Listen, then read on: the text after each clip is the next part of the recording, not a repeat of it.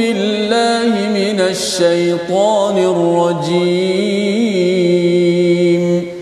بسم الله الرحمن الرحيم. الحمد لله رب العالمين.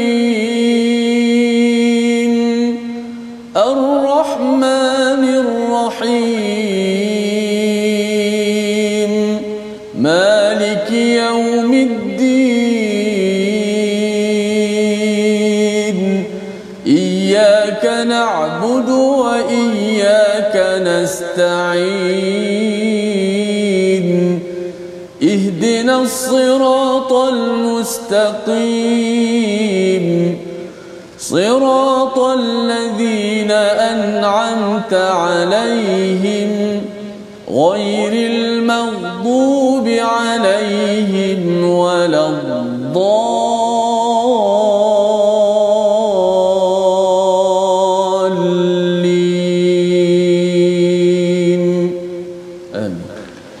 Assalamualaikum warahmatullahi wabarakatuh. Alhamdulillah wassalatu wassalamu ala Rasulillah wa ala alihi wa man wala syada la ilaha illallah syada Muhammadan abduhu wa rasuluh. Allahumma salli ala sayidina Muhammad wa ala alihi wa sahbihi ajma'in. Amma ba'du. Apa khabar tuan-tuan dan puan yang dirahmati Allah sekalian? Kita bersyukur pada Allah Subhanahu wa taala pada hari yang berbahagia ini.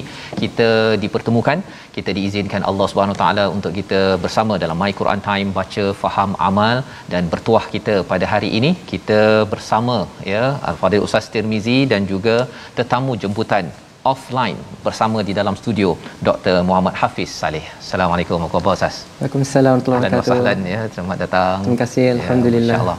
Ya Ustaz Tirmizi, kita ya. mengucapkan adu-aluan kepada Betul. tetamu kita selepas lama kita Betul. ya uh, secara online sahaja. Allah mudahkan dan uh, kita doakan Ustaz ya diberikan Amin. afiah uh, kesihatan kepada semua tuan-tuan sekalian agar kita dapat mengulang kaji halaman 312 hingga 317 pada hari yang berbahagia ini. Jadi uh, kita ingin sama-sama ya sama-sama uh, belajar daripada Dr. Muhammad Hafiz yang banyak pengalaman ya di luar negara, dalam negara ilmu qiraat, ilmu tafsir pelbagai perkara.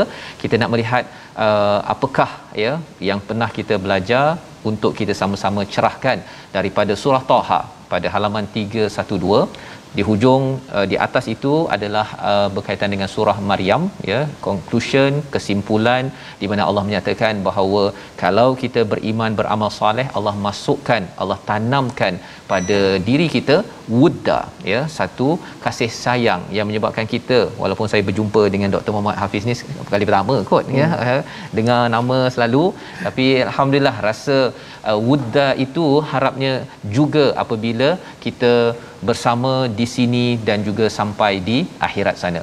Dan bagaimanakah untuk kita membina iman itu sudah tentunya daripada panduan daripada al-Quran. Sebabnya kita nak baca uh, ayat yang pernah menggegarkan Saidina Omar menyebabkan beliau memilih untuk kembali pada agama fitrah ayat 1 hingga 5. Kita baca bersama dengan Ustaz Tirmizi. Silakan Ustaz. Baik, insyaAllah kita mulakan uh, perbincangan kita My Quran Time baca faham amal. Asasnya perbincangan Al-Quran kita baca terlebih dahulu pada ayat uh, pertama hingga pada ayat kelima insya-Allah lepas tu dicerahkan uh, oleh uh, yang berbahagia bintang ataupun tetamu uh, jemputan kita pada hari ini Dr. Hafiz insya-Allah. Auzubillahi minasyaitanir rajim. Bismillahirrahmanirrahim.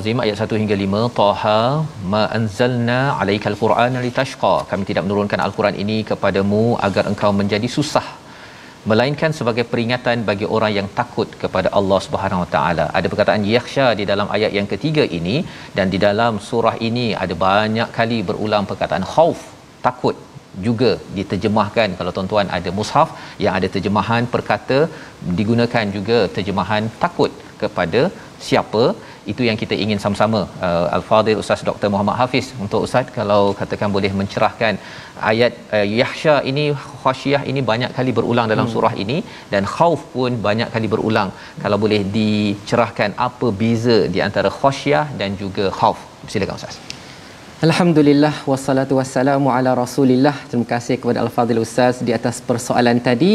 Perbezaan di antara khasyah dan khauf kalau kita lihat daripada sudut terjemahannya ustaz ya. sama sahaja sama. iaitu takut. Tetapi masya-Allah Allah Subhanahu wa taala memilih kalimah yang paling tepat. Dan itulah di antara mukjizat al-Quran. Dan kembali kepada persoalan tadi khasyah yang bermaksud takut dia mempunyai makna yang lebih mendalam. Kata para ulama tafsir al-Quran khasyah itu datang bersama-sama dia dengan perasaan takzim mengagungkan Allah Subhanahu wa taala datang bersama-sama dia dengan perasaan mahabbah kecintaan kepada Allah Subhanahu wa taala dan kedua-dua ini terbina atas dasar ilmu. ilmu. Jadi dengan ilmu itu seseorang semakin mengagungkan Allah dan mencintai Allah Subhanahu wa taala dan itulah perasaan khasyah yang ada dalam seseorang yang beriman kepada Allah Subhanahu wa taala. Manakala khauf adalah perasaan takut, kebimbangan terhadap sesuatu mudarat.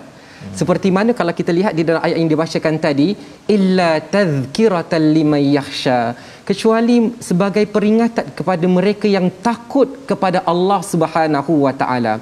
Tetapi kalimah khauf yang datang di dalam surah ini menunjukkan ketakutan kepada sesuatu seperti ular. Tongkat jadi ular ya. Ah, jadi itulah perasaan takut kepada ular yang tidak diiringi dengan mahabbah, yang tidak diiringi dengan kecintaan uh, yang tidak diiringi dengan dengan ilmu. Tetapi khasyah itu adalah ketakutan yang terbina atas dasar ilmu yang membuatkan kita semakin cinta kepada Allah semakin mengagungkan Allah Subhanahu wa taala bahkan disebutkan di dalam hujung surah al-bayyinah tentang balasan bagi orang-orang yang beriman kepada Allah. Allah redha kepada mereka dan mereka redha kepada Allah Allah Subhanahu Wa Taala menyebutkan ganjaran mereka berada di dalam syurga Aden zalika liman khashiya rabbah. Demikianlah balasan bagi mereka yang takut tapi bukan takut yang biasa. Takut yang diiringi dengan keagungan terhadap Allah Subhanahu wa taala. Masyaallah. Terima kasih diucapkan pada Dr Muhammad Hafiz uh, mencerahkan ya. Uh, takut yang atas dasar ilmu mahabbah itu khasyah ya.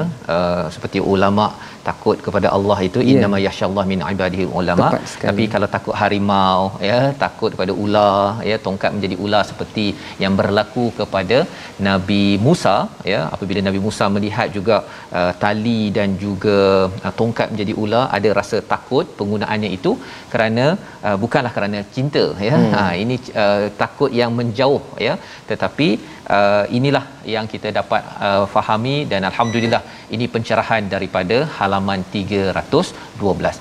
Jadi inilah kisah Nabi Musa ya surah Taha ini penuh dengan kisah Nabi Musa dan diteruskan lagi pada halaman 313 menarik apabila uh, bertemu Tuhan, bertemu Allah dan diberi training, diberi latihan uh, tongkat jadi ular ustaz ya satu mukjizat. Tetapi ada satu lagi mukjizat yang disampaikan pada ayat 22 pendek sahaja yang disampaikan kita uh, bersama dengan Ustaz Termizi kita baca ayat 22 dan 23 lah sekaligus hmm. untuk uh, nanti Ustaz boleh cerahkan uh, bila mukjizat ini akan digunakan silakan Ustaz Termizi baik auzubillah minasyaitonirrajim واضمم يدك إلى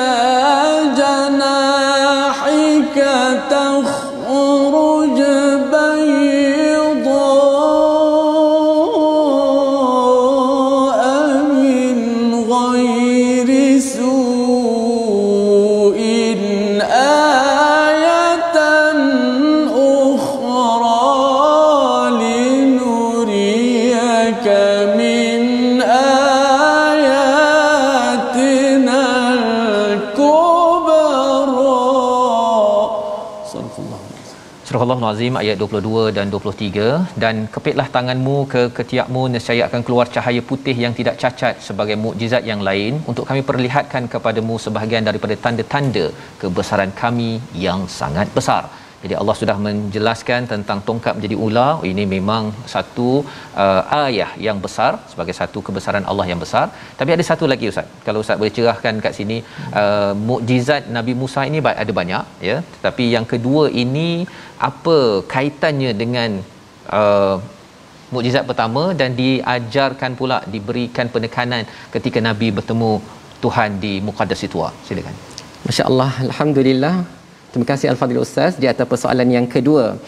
Berkaitan dua mukjizat yang Allah Subhanahu Wa Taala berikan kepada Nabi Musa alaihi salam dan sebagaimana kita tahu bahawa peristiwa ini berlaku apabila Allah Subhanahu Wa Taala berbicara uh-huh. dengan Nabi Musa alaihi salam di satu lembah yang bernama Lembah Tua.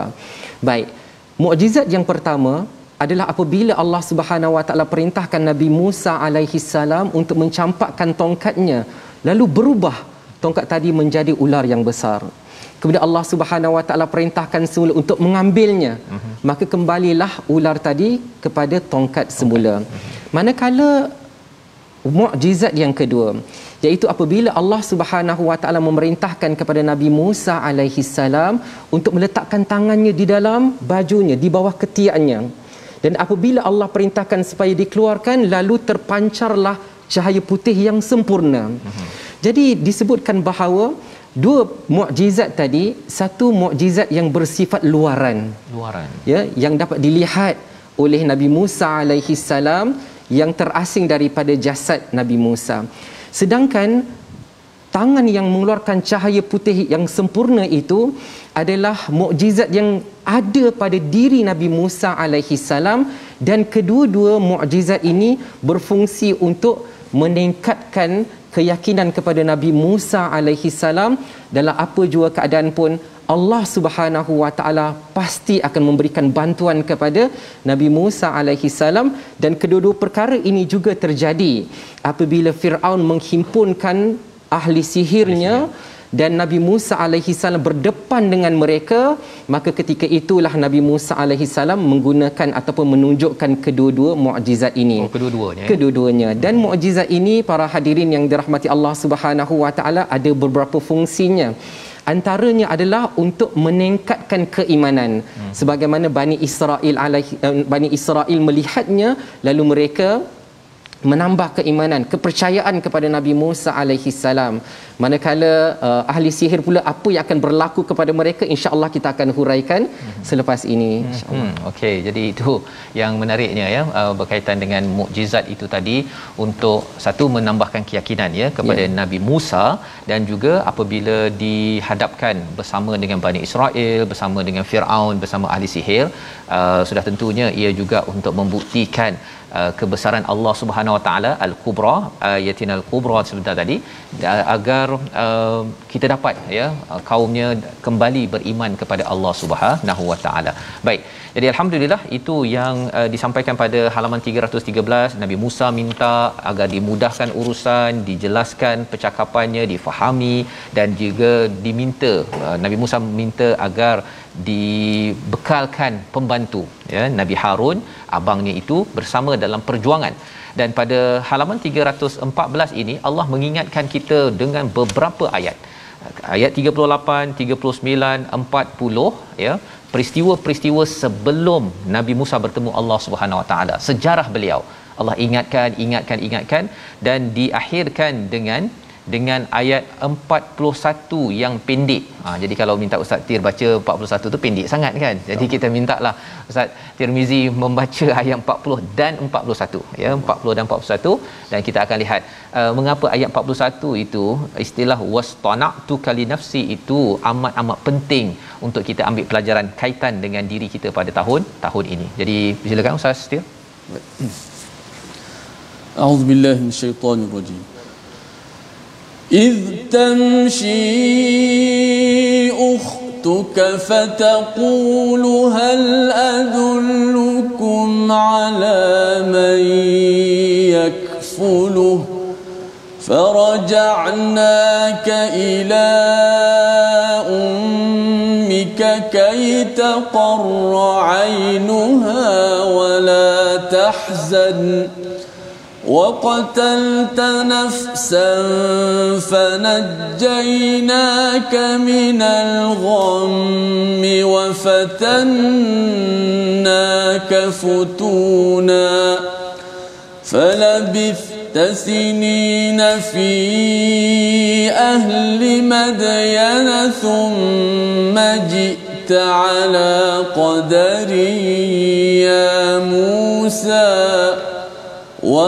واصطنعتك لنفسي صدق الله Surah Al-Azim ayat yang ke-40 adalah salah satu daripada ayat Allah mengingatkan ketika saudara perempuanmu berjalan lalu dia berkata kepada keluarga Firaun bolehkah saya menunjukkan kepadamu orang yang akan memeliharanya maka kami mengembalikan kepadamu agar senang hatinya kepada ibumu agar senang hatinya dan tidak bersedih hati dan engkau pernah membunuh seseorang. Allah mengingatkan kepada Nabi Musa engkau pernah membunuh seseorang di Mesir dahulu lalu kami selamatkan engkau daripada kesulitan yang besar. Kami mengujimu dengan beberapa ujian yang berat lalu engkau tinggal beberapa tahun di Madian. Dengan kemudian engkau wahai Musa datang menurut waktu yang ditetapkan. Di situ Allah mengingatkan kepada Nabi Musa beberapa perkara daripada ayat 38 hingga 40 disimpulkan dengan satu perkataan yang amat hebat wastana'tuka li nafsi. Pencerahan daripada Dr Hafiz untuk kita ambil pelajaran pada diri kita tahun ini. Silakan. masya-Allah. Alhamdulillah. Terima kasih al-fadhil ustaz di atas persoalan berikut. masya-Allah sebelum ayat ini sebelum Allah Subhanahu wa taala berfirman wastana'tuka li nafsi beberapa ayat sebelumnya Allah Subhanahu wa taala menyebut satu persatu nikmat yang Allah Subhanahu wa taala berikan kepada Nabi Musa alaihi salam di antaranya bermula dengan Allah mengilhamkan kepada ibu Nabi Musa alaihi salam untuk meletakkan Nabi Musa di dalam tabut dan ke dalam sungai. Kemudian Allah Subhanahu Wa Taala juga berikan kelebihan kepada Nabi Musa sehingga mereka yang memandang Nabi Musa ada perasaan cinta kepada Nabi Musa alaihi salam sehingga Nabi Musa terselamat daripada ancaman Firaun dan beberapa nikmat lagi sebagaimana yang disebutkan oleh Al-Fadhil sebentar tadi. Masya-Allah. Kemudian bila mana Allah Subhanahu Wa Taala sebutkan wastana'tu kali nafsi, aku telah memilihmu untuk diriku.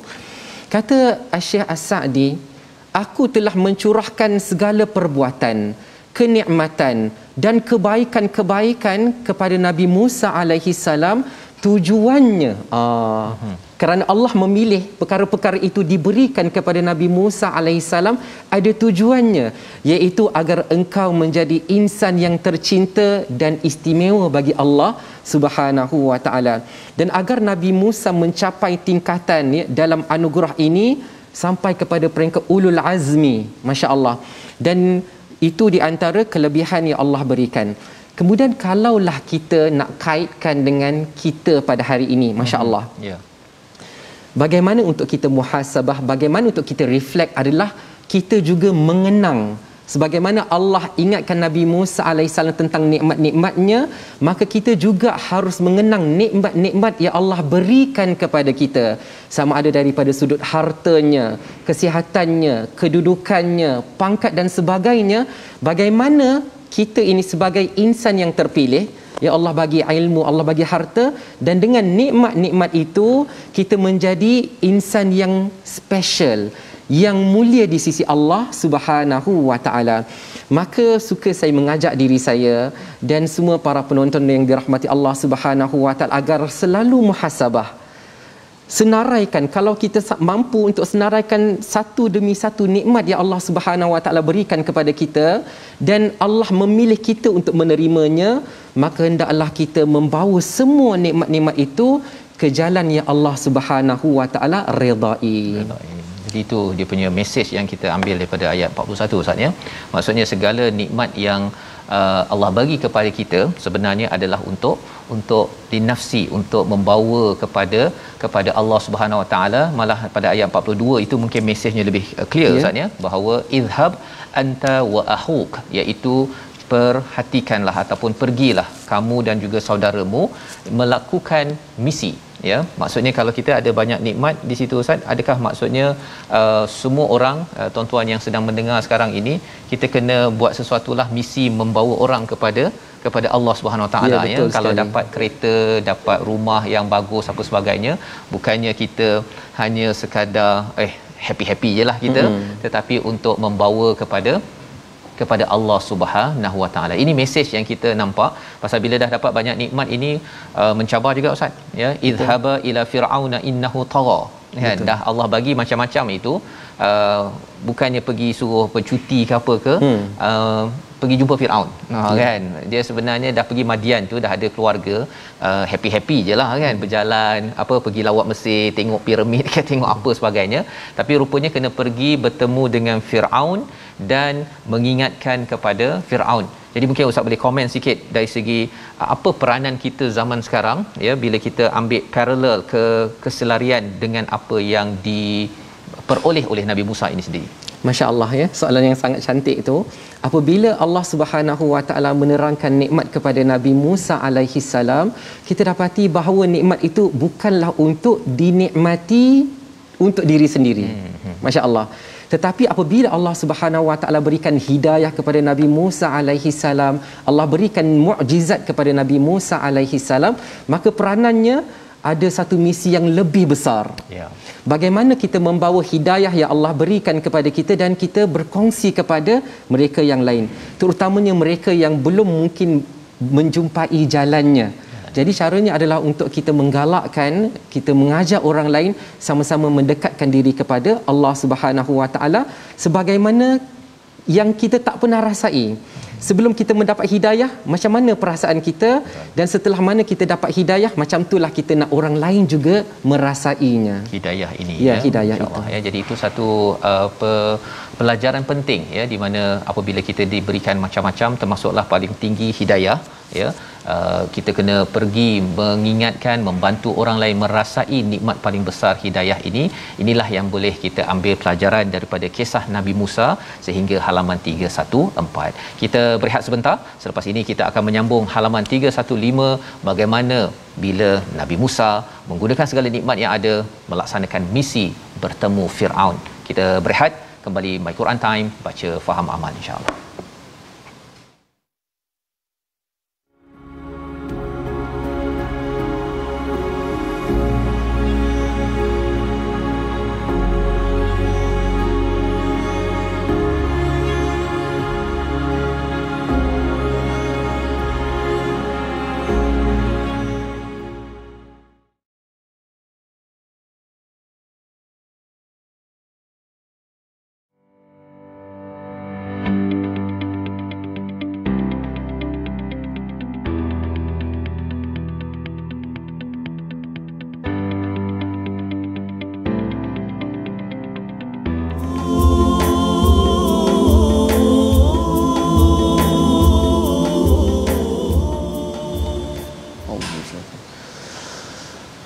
بسم الله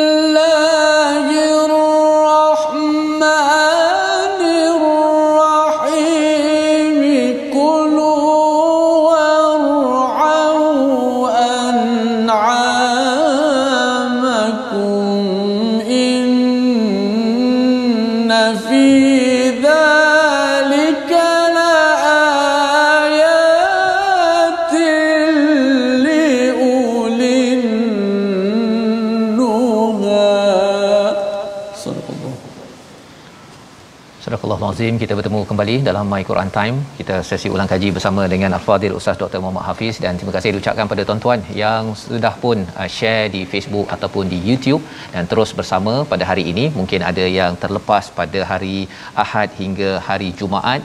Kita mengulang kaji kembali kepada halaman 312 hingga 317. Pada setiap hari Sabtu, insya-Allah ada tokoh-tokoh ilmuan yang akan mencerahkan kepada kita. Dan ayat yang dibacakan oleh Ustaz Tirmizi sebentar tadi daripada ayat yang ke-54 adalah antara jawapan Nabi Musa dalam berdakwah dalam mengingatkan kepada Firaun yang maksudnya makanlah dan ternaklah haiwan-haiwanmu sesungguhnya demikian itu terdapat tanda-tanda kebesaran Allah bagi orang-orang yang berakal. Kita nak mengetahui apa maksud ulin nuha. Di dalam al-Quran ini ada ulil absar, ada ulil aidi wal absar, ada ulil albab. Tetapi di sini ulin nuha dan menarik dalam surah ini ada dua kali ya dalam ayat 54 dan juga pada ayat 128. Mari sama-sama kita dengar penjelasan daripada Fadil Ustaz Dr. Hafiz. Masya-Allah alhamdulillah. Uh, para hadirin uh, yang dirahmati Allah Subhanahu wa taala. Baik, uh, ayat tadi itu menceritakan tentang bagaimana dialog Nabi Musa alaihi salam dengan Firaun. Sebelum dibacakan ayat tadi, ada beberapa ayat di ya. mana Nabi Musa alaihi salam menerangkan tentang kekuasaan Allah Subhanahu wa taala. Kebesaran Allah Subhanahu Wa Taala bagaimana Allah menjadikan bumi ini rata sebagai hamparan dan ada jalan-jalannya untuk memudahkan manusia mengambil manfaat daripada setiap yang ada. Bahkan disebutkan tentang Allah menurunkan hujan dan sebagainya. Maka baik maka ulin nuha yang dimaksudkan adalah mereka yang Allah kurniakan akal kepada mereka. Dengan daripada akal tersebut mereka boleh tadabbur alam. Mereka menjadikan alam itu sebagai hujah bahawa Allah Subhanahu wa taala berkuasa. Daripada nikmat-nikmat yang disebutkan itu boleh merujuk kepada Allah Huwar Razzaq Dialah Allah Subhanahu wa taala yang Maha pemberi rezeki. Daripada alam yang kita lihat, kita dapati Allah Subhanahu wa taala Huwal Ghani. Dialah Allah Subhanahu wa taala yang Maha kaya. Dan di dalam ayat yang sama bila kita teliti, kita dapati nikmat-nikmat itu juga dapat kita rasai. Di situ kita dapat rasakan bahawa Allah Huwar Rahman, Huwar Rahim. Allah Subhanahu Wa Taala yang Maha Penyayang sehingga kan begitu banyak nikmat yang Allah Subhanahu Wa Taala berikan kepada kita. Tidak cukup dengan itu, orang-orang yang ulin nuha ini daripada nikmat-nikmat yang Allah Subhanahu Wa Taala telah sediakan, mereka mengambil manfaatnya Allah Subhanahu Wa Taala menyebutkan kulu dan makanlah ya maksudnya nikmatilah apa yang Allah Subhanahu Wa Taala telah berikan itu dengan cara dengan jalan yang Allah Subhanahu Wa Taala redai. Jadi ulin nuha ini mereka yang boleh berfikir ingat kebesaran Allah Subhanahu Wa Taala dan dalam masa yang sama nikmat-nikmat itu mereka manfaatkan sebaik yang mungkin. Baik, terima kasih ucapkan pada Dr. Hafiz ya. Maksudnya uh, ulin nuha ini mereka boleh uh, melihat kepada alam ya. Kalau katakan tadi ayat 128 mungkin di ujung nanti doktor ya, hmm. melihat kepada sejarah dan mengambil manfaat ya, mengambil manfaat bukannya memudaratkan lagi keadaan ya. Yeah. Uh, pasal ini ceramah pada Firaun kan. Yeah. Nak hin, nak bagi clue pada Firaun, janganlah pergi kau ambil manfaat tapi lepas tu merosakkan kepada Mesir ini sendiri itu antara perkara yang diberikan uh, di dalam dalam ceramah ya ataupun peringatan Nabi Nabi Musa. Bila uh, anak angkat ya bekas anak angkat telah dididik tapi tiba-tiba mengingatkan perkara ini marahlah si si Firaun. Maka apakah yang berlaku pada ayat, uh, halaman 315 ini Firaun mengumpulkan orang-orang uh, pentingnya. Dan kita lihat pada halaman 316 uh, di baling tongkat bermulalah pertandingan tersebut di antara ahli sihir dan juga Nabi Musa pada ayat yang ke-65 uh, sehingga ayat 66 67 tapi ada yang menarik bila tongkat Nabi Musa dibaling menjadi ular ngap kepada segala ular-ular itu ada ayat 70 yang kita ingin baca bersama dipimpin Ustaz Tirmizi. Yang kita ingin pencerahan daripada uh, Al-Fadhil Ustaz Hafiz nanti ialah uh, di sini highlightnya kepada ahli sihir sahaja. Orang-orang lain tidak dimaklumkan. Kita nak memahami apa yang berlaku pada keseluruhan temasya pertandingan di antara Nabi Musa, Nabi Harun bersama dengan ahli sihir itu. Kita baca dahulu ayat yang ke-70. Silakan Ustaz. Baik, terus kita fokus pada ayat 70 surah Taha buku surat 316. Auzubillahi minasyaitanir rajim. Bismillahirrahmanirrahim. فألقي السحرة سجدا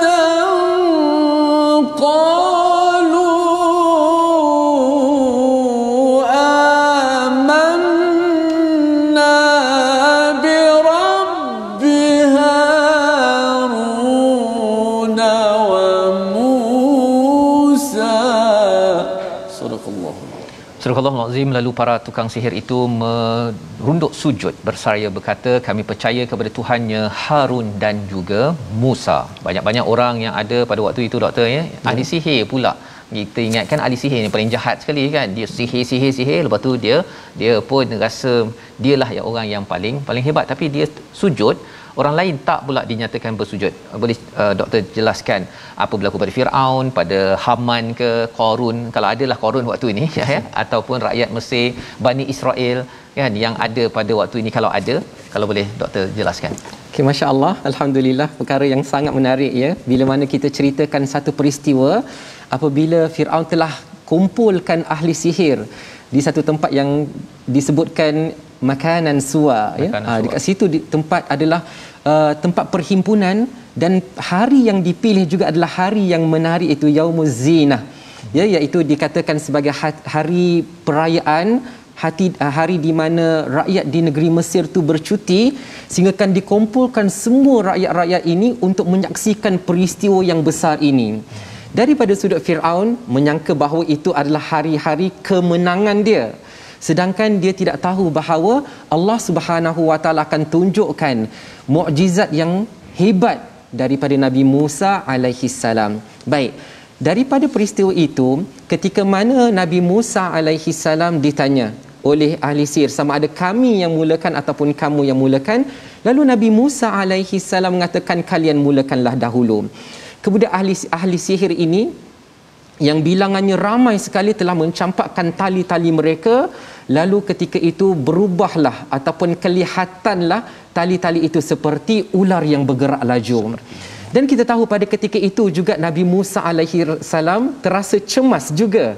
Terasa cemas juga kerana khawatir bahawa orang yang menyaksikan akan percaya kepada ahli sihir.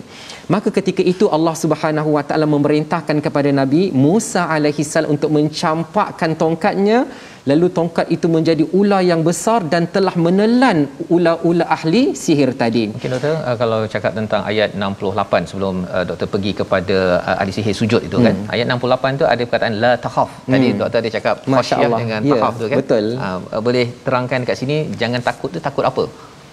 Okey, dekat sini kalau kita lihat uh, ayat yang sebelumnya menyebutkan fa'aujasa fi nafsihi khifatan Musa. Ya. Jadi ketika itu bila mana melihat ya, ada dua ada dua perkara yang yang sefaham saya ada dua perkara yang menakutkanlah Nabi Musa alaihi salam.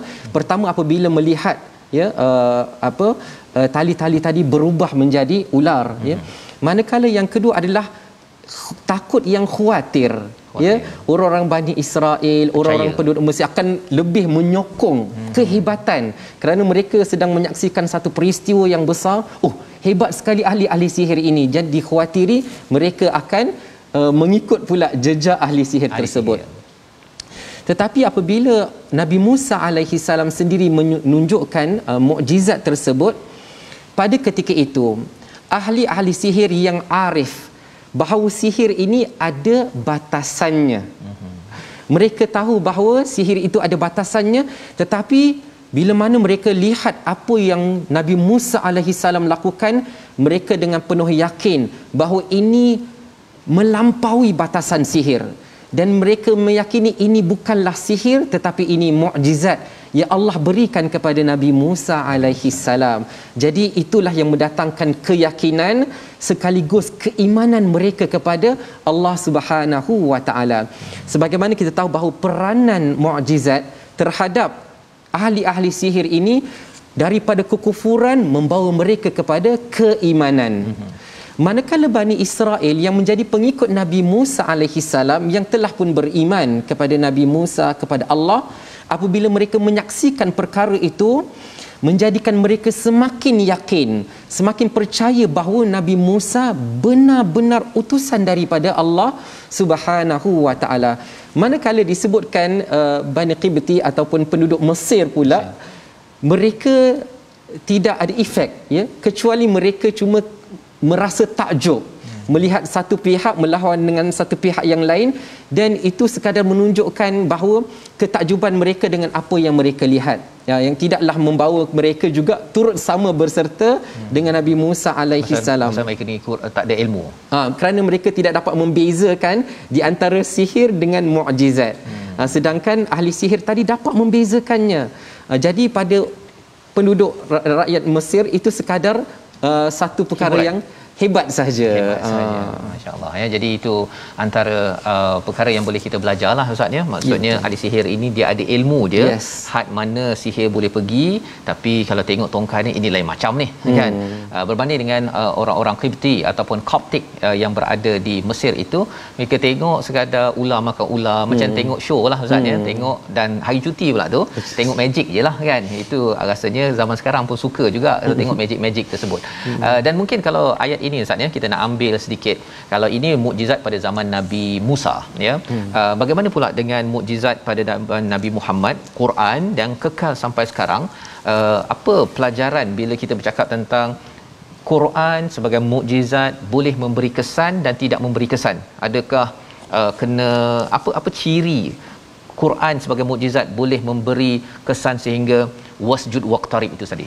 masya-Allah Okey, jadi bila mana kita bicarakan tentang mukjizat Al-Quran, mukjizat yang paling agung, agung. Ha, di mana keistimewaannya adalah mukjizat itu memberi kesan kepada orang yang membacanya mm-hmm. dan juga boleh memberi kesan kepada orang yang mendengarnya.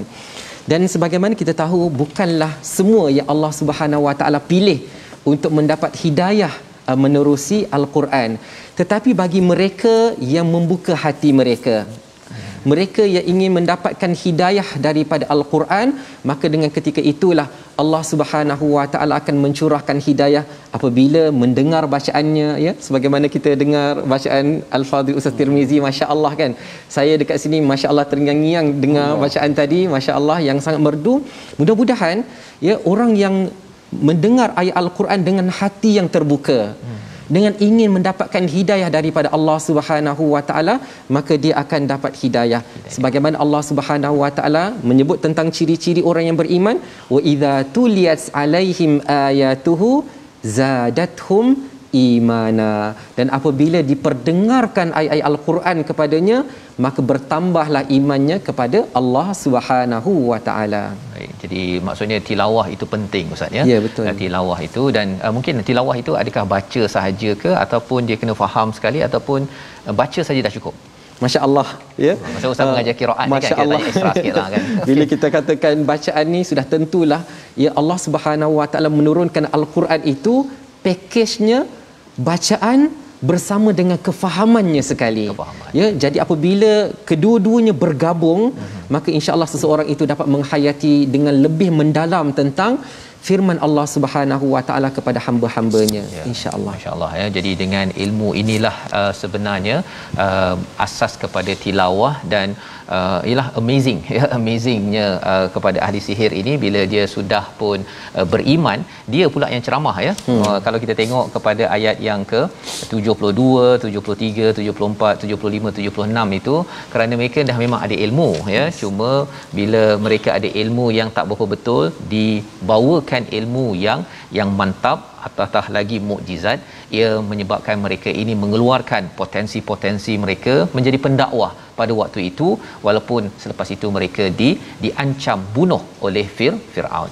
Maka inilah yang kita lihat sambungan pada halaman 317 halaman terakhir yang kita baca hari Jumaat ha semalam kita baru baca uh, iaitu kita lihat uh, bagaimana Nabi Musa yang diancam Bani Israel yang ditindas mereka diberikan peluang untuk bergerak ya keluar daripada Mesir. Dan inilah yang kita lihat pada ayat 82 ada peringatan daripada Allah yang menarik bila mereka diberikan macam-macam. Diberikan manna wassalwa diselamatkan diberi janji. Tapi ada ayat 82 yang kita ingin baca untuk kita fahami apa mesej sebenar untuk kita juga. Kita sama-sama dibaca Ustaz Tirmizi Ayat 82 eh. Aun syaitan itu. Bismillahirrahmanirrahim.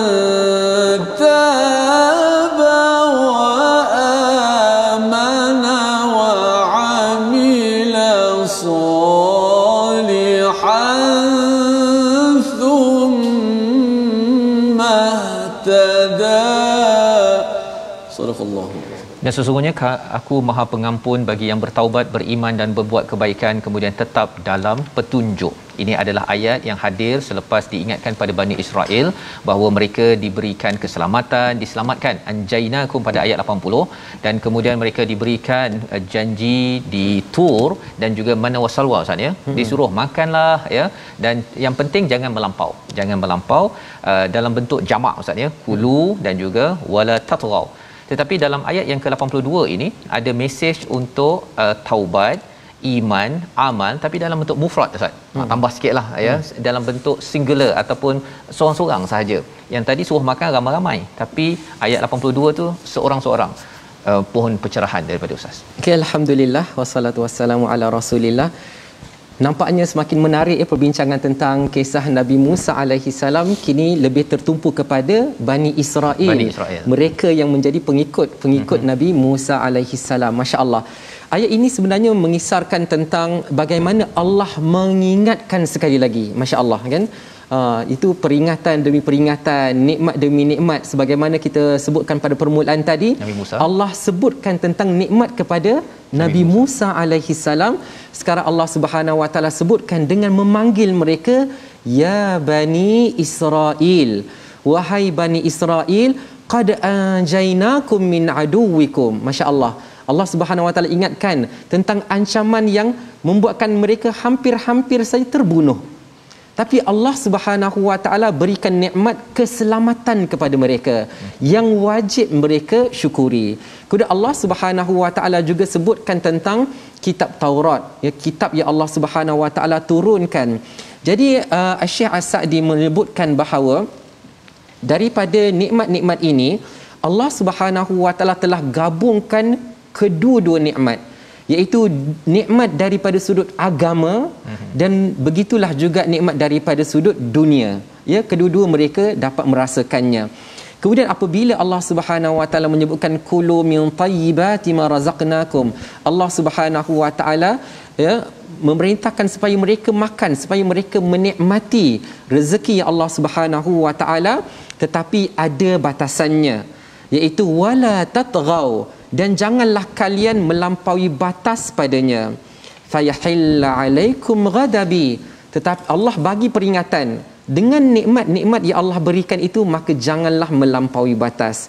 Kerana sekiranya kalian melampaui batas maka Allah Subhanahu wa taala akan murka kepada mereka dan barang siapa yang Allah Subhanahu wa taala murka kepada mereka maka mereka akan dibinasakan oleh Allah Subhanahu wa taala jadi sebagaimana yang disebutkan tadi ini adalah berbentuk jamak eh, kepada hmm. semua mereka Kemudian apabila Allah Subhanahu Wa Taala menyebutkan wa inni laghaffar ya Allah Subhanahu Wa Taala memberikan keampunan kepada mereka yang bertaubat kepada Allah Subhanahu Wa Taala. Baik. Dekat sini ada peringatan kepada kita semua ya. Ha, apabila Allah Subhanahu Wa Taala telah menyebutkan nikmat demi nikmat dan kadang-kadang ada yang ter uh, lakukan perkara yang Allah Subhanahu Wa Taala larang. Maka datanglah firman Allah Subhanahu Wa Taala tentang keampunan daripada Allah Subhanahu Wa Taala. Baik. Jadi apabila dikatakan taubat ya uh, taubat ini dan ia bersifat uh, mufrad, mufrad. kerana apabila seseorang itu melampaui batas tadi bukanlah secara beramai-ramai kan? Ha, ya. ya tetapi bila yang dikatakan nikmat itu nikmatilah kamu beramai-ramai. Hmm. tetapi kadang-kadang ada daripada mereka yang melakukan kesalahan. Maka Allah Subhanahu Wa Taala memberi peluang kepada mereka. Sekiranya mereka ada melakukan dosa maka Allah akan memberikan kemaafan kepada mereka. Sekiranya mereka bertaubat kepada Allah Subhanahu Wa Taala dan ayat ini secara sekaligus menggambarkan sifat Allah Subhanahu Wa Taala yang Maha Pemurah dengan memberikan pelbagai rezeki uh, kepada Bani Israel dan dalam masa yang sama juga menunjukkan betapa baiknya Allah Subhanahu Wa Taala yang Maha Pemberi keampunan kepada mereka yang telah melakukan dosa dan mereka memohon keampunan daripada Allah. Baik, terima kasih diucapkan pada Ustaz Dr. Muhammad Hafiz ya menjelaskan bahawa apabila di perkara-perkara baik buat sama-sama ya, hmm. ya tapi kalau ada individu yang berbuat kesilapan uh, masing-masing bertanggungjawab untuk bertaubat ber, beriman baiki amal moga-moga terus dipandu inilah yang kita ingin bina harapnya dengan enam halaman kita ulang kaji ini kita makin dipimpin Allah kita berdoa di hujung ini bersama al-fadil ustaz Tirmizi Ali insyaallah silakan ustaz Bismillahirrahmanirrahim. Alhamdulillah rabbil alamin wassalatu wassalamu ala asyrafil anbiya'i mursalin wa ala alihi wa sahbihi ajma'in.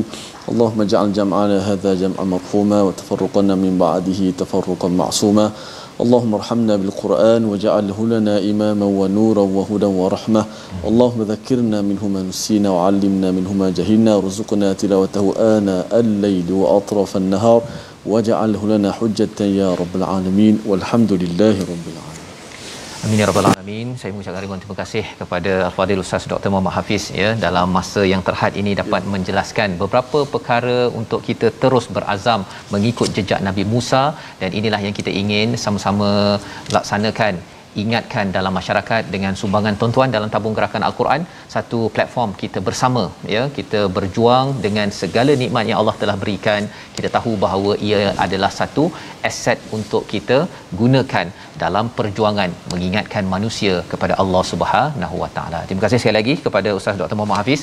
Harap dapat kita bersama lagi pada sesi akan datang ya. Terima kasih kepada Ustaz dan kita bertemu lagi dalam My Quran Time baca faham amal insya-Allah.